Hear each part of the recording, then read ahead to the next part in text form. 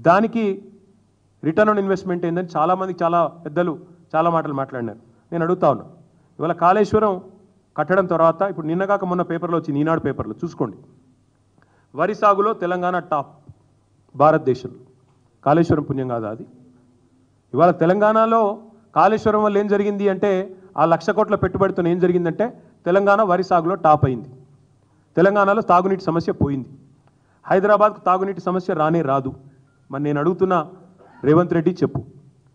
లక్ష కోట్లతో కాళేశ్వరం కడితే return on investment ఏంది అన్నావు? నువ్వు చెప్పు నాకు ఈరోజు. నీ మూసీ ప్రాజెక్టు వల్ల మురిసేది ఎంతమంది? నీ మూసీ ప్రాజెక్టు వల్ల రిటర్న్ ఆన్ ఇన్వెస్ట్మెంట్ రాష్ట్రానికి ఎంత? నీ మూసీ ప్రాజెక్టు వల్ల ఒక్క ఎకరానికన్నా నీరు వస్తుందా సాగునీరు? ఒక రైతు కన్నా లబ్ధి చేకూరుతుందా? అంటే ఇప్పటికే మూసీ కింద ఉన్న ఆయకట్టు కాకుండా నేను చెప్పేది కొత్తగా ఏమైనా వస్తుందా? నెంబర్ వన్ పాయింట్ ఒక రిజర్వాయర్ ఉందా ఇందులో మూసీ ప్రాజెక్టులో? ఒక పంప్ హౌస్ ఉందా?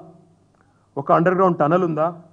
ఏం లేకున్నా లక్షన్నర కోట్లు అంటే స్కామ్ కాదా? ఎడబోతున్నాయి లక్షన్నర కోట్లు. అందుకే నేను అనేది ఈ ల- మీరు మాట మాట్లాడితే మీ రాహుల్ గాంధీ వచ్చి అన్నాడు ఇక్కడికి. కాళేశ్వరం ఏటీఎం అన్నాడు. కేసీఆర్కు బీఆర్ఎస్కు ఏటీఎం అన్నాడు. మరి మూసీ ప్రాజెక్ట్ ఏంది? రిజర్వ్ బ్యాంకా? కాంగ్రెస్ పార్టీకి?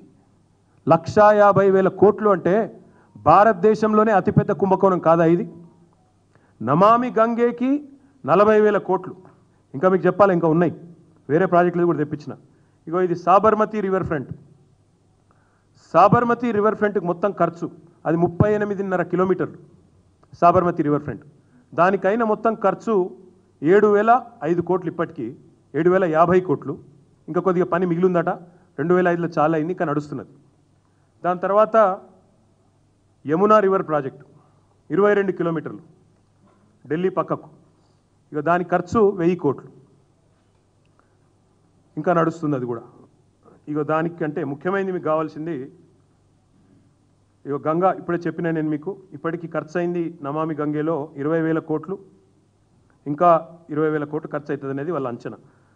థేమ్స్ నది కూడా థేమ్స్ నది కూడా ఏదైతే ముఖ్యమంత్రి చెప్తున్నాడో అది కూడా మొత్తం ఖర్చు పెట్టింది వాళ్ళు దాదాపు నలభై వేల చిల్లర కోట్లు.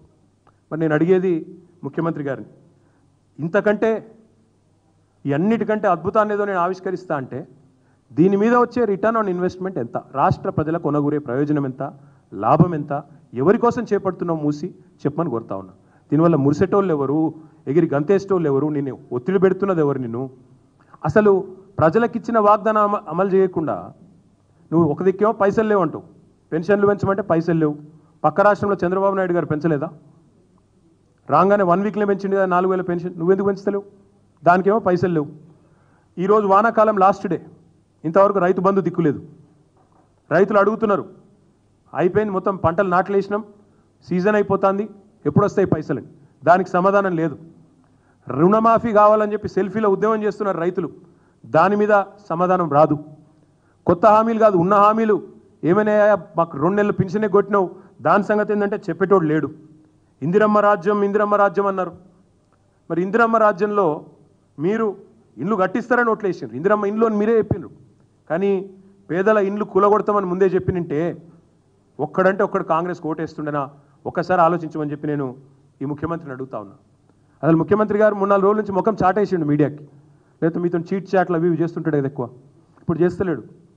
ఎందుకు? భయం. ఆతల ప్రజల ఆగ్రహం కట్టలు తెంచుకుంటున్నది ప్రజలు ఆగ్రహ దగ్గరలో అవుతున్నారనే భయం అధికారులను ముంగడ పెడుతున్నారు. ఇది ఒక అలవాటు అయిపోయింది అమెరికాలో బోగస్ కంపెనీలు తెచ్చిండు వాళ్ళ అన్నగాడు వెయ్యి కోట్ల పెట్టుబడి పెట్టి మొగాడు ఎప్పుడు అయిపోయిండు అన్ని పైసలు ఆడికెళ్ళి వచ్చినాయి.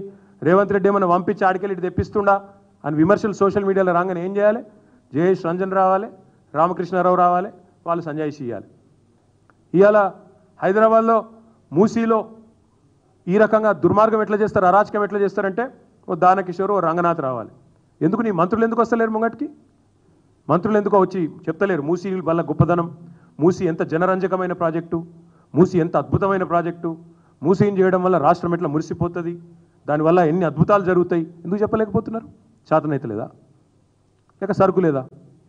నేను అదే అంటా ఉన్నా వాస్తవాలు చెప్పే ధైర్యం లేక అధికారుల వెనకాల దాక్కుంటే కుదరదు ముఖ్యమంత్రి. అసలు మేనిఫెస్టోను చెప్పు. నీ గ్యారంటీ కార్డుల సంగతి చెప్పు. వంద రోజుల్లో అమలు చేస్తా అని మూడు వందల రోజులకు కూడా ఏమీ చేయని నీ అశక్తతను చెప్పు.